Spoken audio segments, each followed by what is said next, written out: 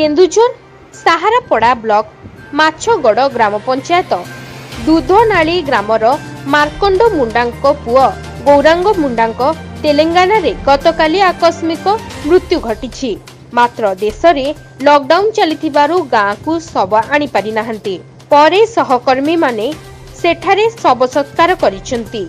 ଦୁଧନାଳି ଗ୍ରାମର ତିନି ଜଣ ମହିଳା ଓ ଚାରି ଜଣ ପୁରୁଷ ତେଲେଙ୍ଗାନା ରାଜ୍ୟର ରାଙ୍ଗାରେଡ୍ଡି ଥାନା ଆପ୍ରାପାଲ୍ଲି ଗ୍ରାମରେ ଜଣେ ଠିକାଦାର ନିକଟରେ ଶ୍ରମିକ ଭାବରେ କାର୍ଯ୍ୟ କରୁଥିଲେ।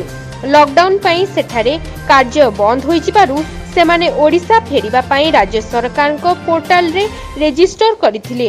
ମାତ୍ର ସେଠାକାର ପ୍ରଶାସନ ସେମାନଙ୍କ ନିକଟରେ ପହଞ୍ଚିବାରେ ବିଳମ୍ବ କରିଦେଇଛନ୍ତି। ତେବେ ଗତକାଲି ଗୌରାଙ୍ଗଙ୍କ ଛାତିରେ ହଠାତ୍ ଯନ୍ତ୍ରଣା ହେବାରୁ ସହକର୍ମୀମାନେ ତାଙ୍କୁ ସ୍ଥାନୀୟ ହସ୍ପିଟାଲରେ ଭର୍ତ୍ତି କରିଥିଲେ।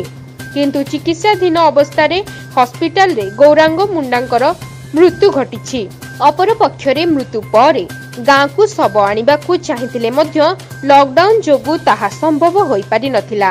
ଫଳରେ ବାଧ୍ୟ ହୋଇ ଶ୍ରମିକମାନେ ସେଠାରେ ତାଙ୍କ ଶବଦାହ କରିଥିଲେ।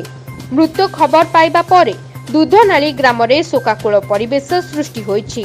ମାଛଗଡ଼ ସରପଞ୍ଚ ଈଶ୍ୱର ଚନ୍ଦ୍ର ନାୟକ ସମିତି ସଭ୍ୟ ରଞ୍ଜନ କୁମାର ସାହୁ ମୃତ ଯୁବକଙ୍କ ପରିବାରରେ ପହଞ୍ଚି ସମବେଦନା ଜଣାଇବା ସହିତ ତେଲେଙ୍ଗାନାରେ ଫସି ରହିଥିବା ଅନ୍ୟ ତିନି ଜଣ ମହିଳା ଓ ତିନି ଜଣ ପୁରୁଷ ଶ୍ରମିକଙ୍କୁ ଓଡ଼ିଶା ଆଣିବା ପାଇଁ ବ୍ଲକ ପ୍ରଶାସନ ଓ ଜିଲ୍ଲା ପ୍ରଶାସନ ପାଖରେ ଦାବି କରିଛନ୍ତି କେନ୍ଦୁଝର ଜିଲ୍ଲା ସାହାରାପଡ଼ା ବ୍ଲକରୁ ରମେଶ ସେନ ମୁଣ୍ଡାଙ୍କ ରିପୋର୍ଟ ଓଡ଼ିଶା ଭିଜନ ଟିଭି